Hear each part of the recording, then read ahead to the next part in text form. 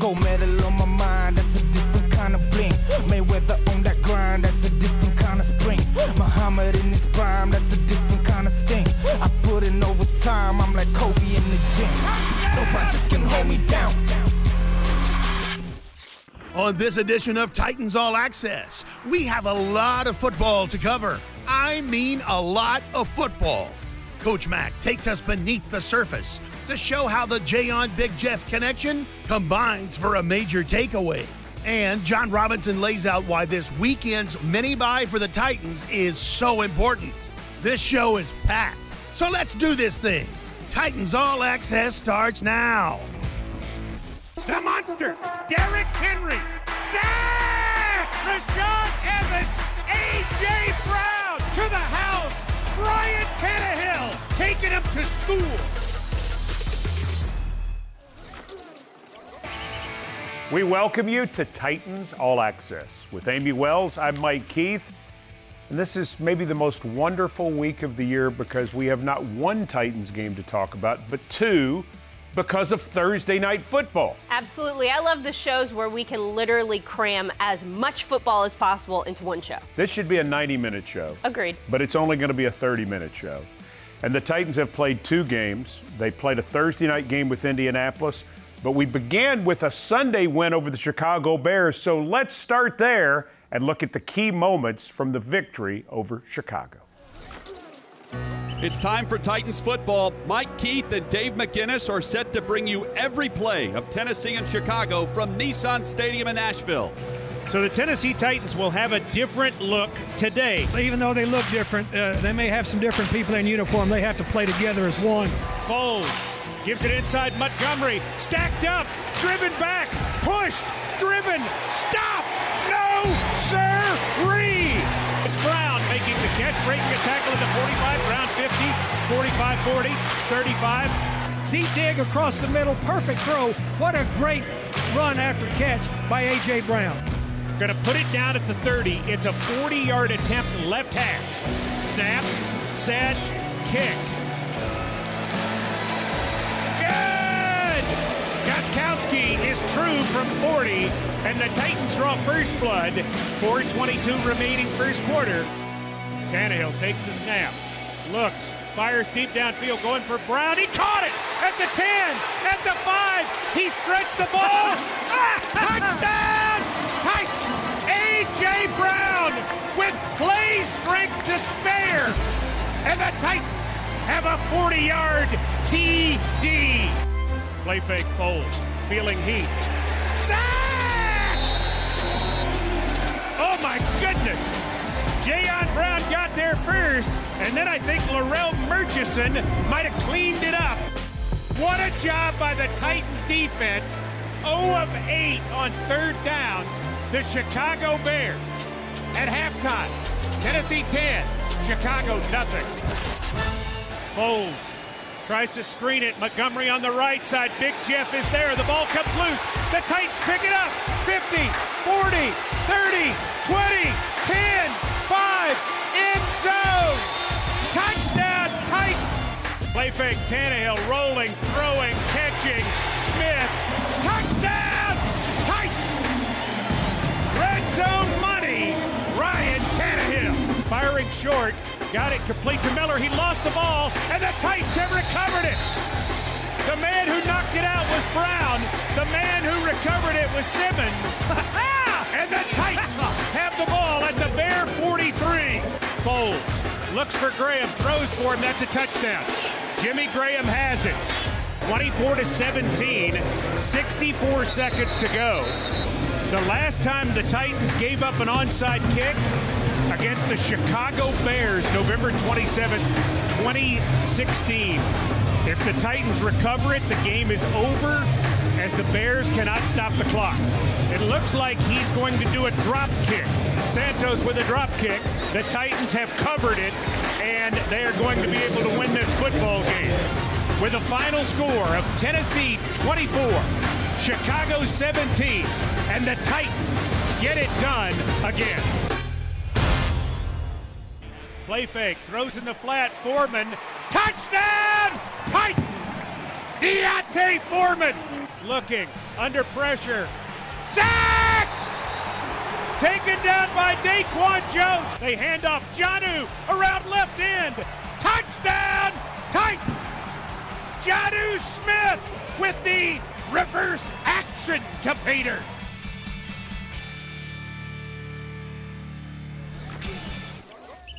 So that was a lot of football. Some good, some not quite as good, but a lot of football nonetheless. Absolutely it was. And there's still a lot of football left to come this season. Yeah, just remember, we're going to see the Colts again in two weeks. And we owe them one. One up there last time.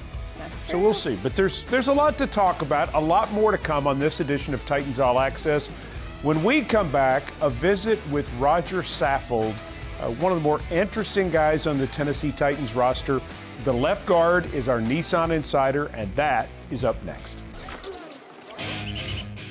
It's hard to believe, but maybe the most interesting man on the Tennessee Titans roster is left guard Roger Saffold. Do you have, Amie Wells, a most interesting Roger Saffold fact?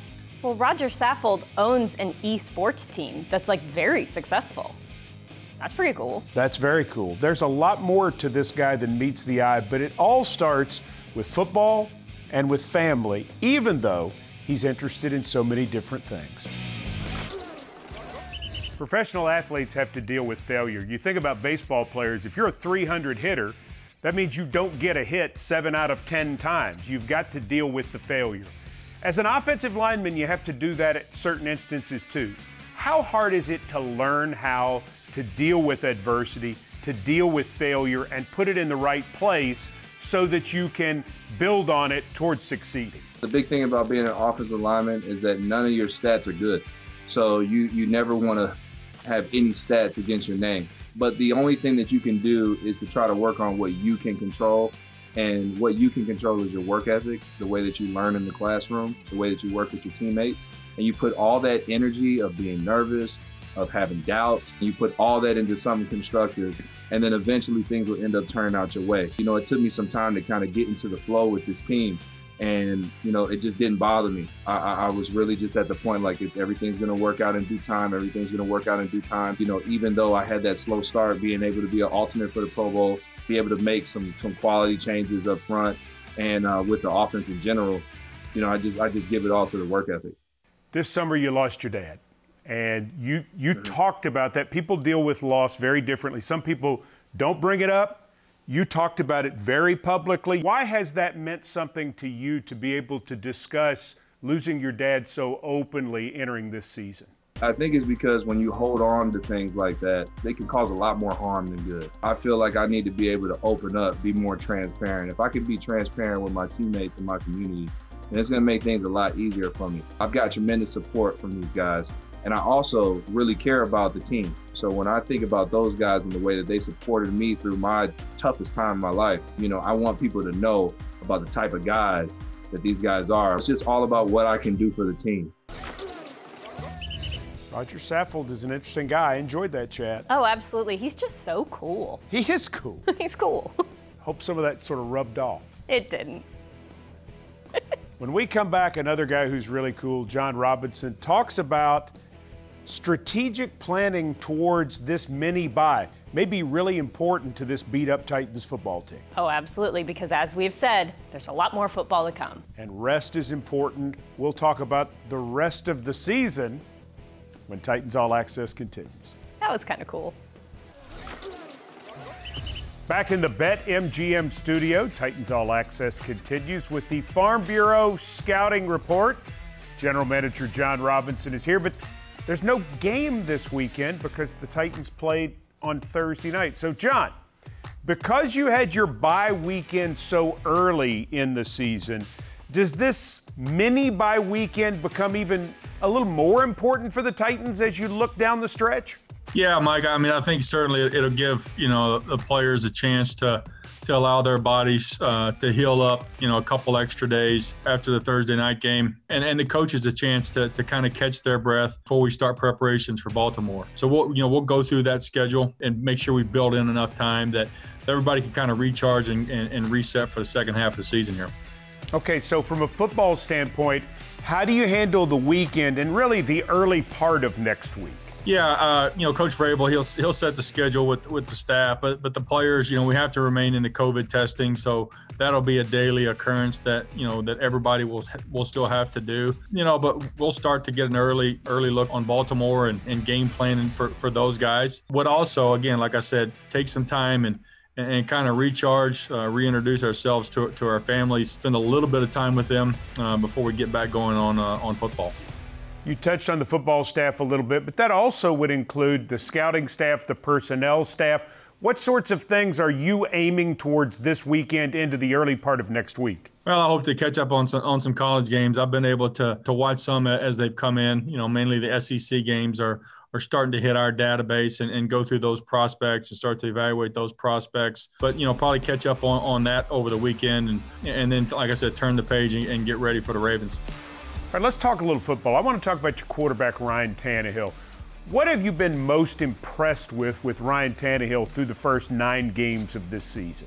Yeah, I mean, I think you know he, he's really built upon what, what he did at the end of, of last last season, the 2019 season. Made some really impressive throws this year, down the field, short to intermediate, timing timing throws. His leadership continues to you know stand out, not just for the offense, but for the for the entire football team. Uh, the command that he has, the respect that he has of his teammates, uh, and he's making plays for us. You know, certainly with his arm, but but with his legs too, because he, he, he can get out of the pocket, he can scramble, and he can hurt you on the move. Derrick Henry has been the number one or the number two rusher in the NFL all this year, led the league in rushing a year ago. What is it about Derrick Henry that allows him to be so consistent, seemingly week in, week out? Yeah, I think I think he's a really resilient uh, player. I think he he welcomes uh, the fact when, when teams walk an extra player down into the box to, to try to stop him, I think he takes that as, as a challenge, and, and he knows he's got the respect of that defense, and, and, he keeps plugging and he keeps playing, and you know he, he can he can bang away and, and two or three yards or four or five yards here or there, and then you never know when when the big one's going to break, you know, and he's going to rattle off a 20, 25 or as we've seen, a couple 99 yarders and, and, just impactful plays that really change the scope of a game. I know in the John Robinson Scouting Report, brought to you by Farm Bureau Insurance, next week on Titans All Access, we'll dive deeply into the Baltimore Ravens. But can you give us a little peek, a little overview of what you think of the Ravens so far? Yeah, I mean they've still got they've got playmakers uh, on, on, both sides of the ball. You know, it starts on offense with with Jackson, their quarterback. Uh, just an electric player, can, can, beat you with his arm, can take off and scramble and, and design runs and make plays. They've got a good backfield, got talented receivers and tight ends. Defensively, Coach Martindale still on that side of the ball. He's mixing stuff up, he's cooking things up. Rookie linebacker Queen's playing really, really good for him. They got good corners in Humphrey, and, and they've got they've got guys that can that can hurt you on both sides of the football. All right, as they play the Patriots this weekend, game's going to be on TV. I just wondered how do you watch that? Do you sit and watch the game like a fan, or do you wait for the tape to come in? How do you do it?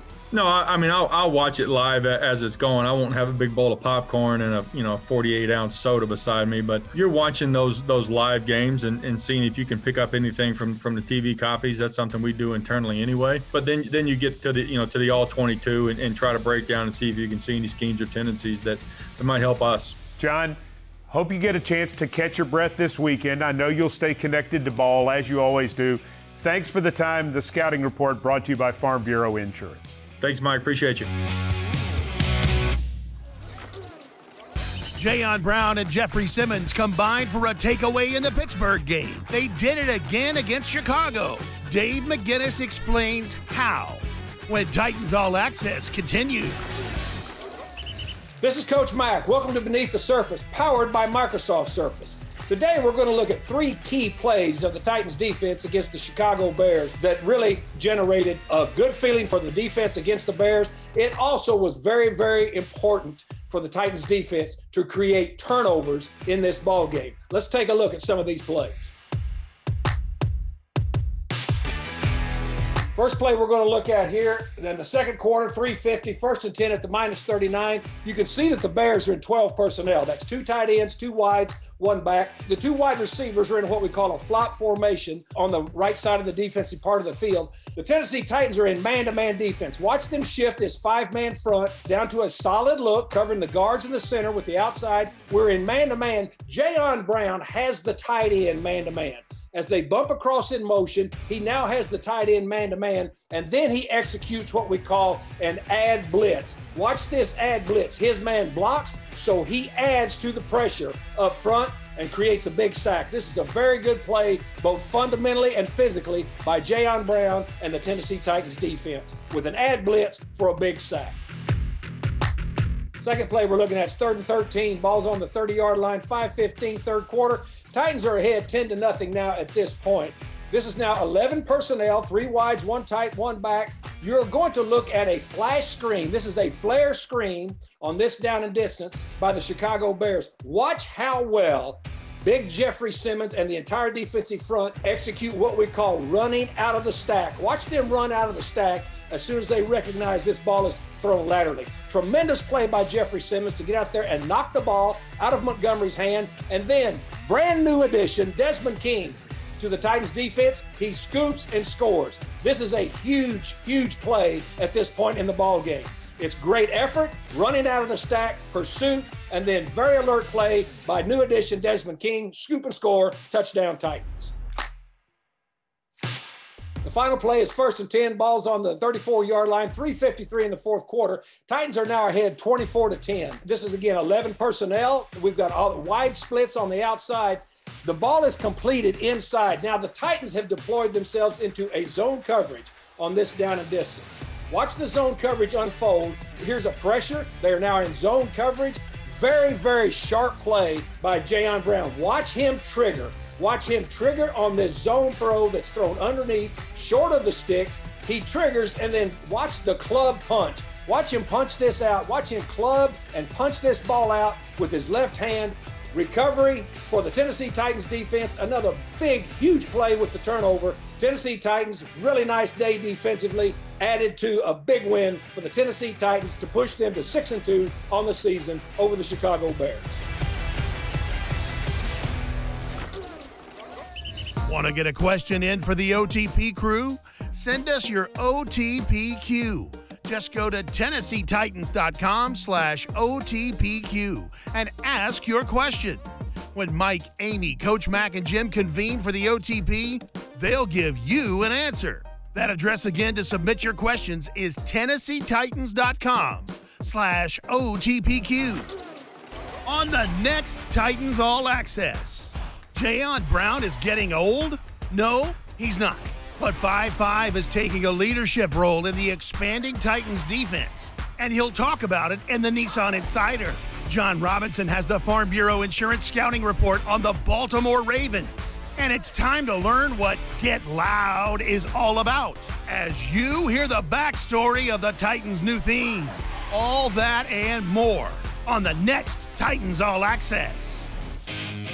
This is normally where we do the keys to the game, and Amie asked me my three keys. And obviously, there's no ball game this weekend because we played two in five days. And so the real key right now is just rest.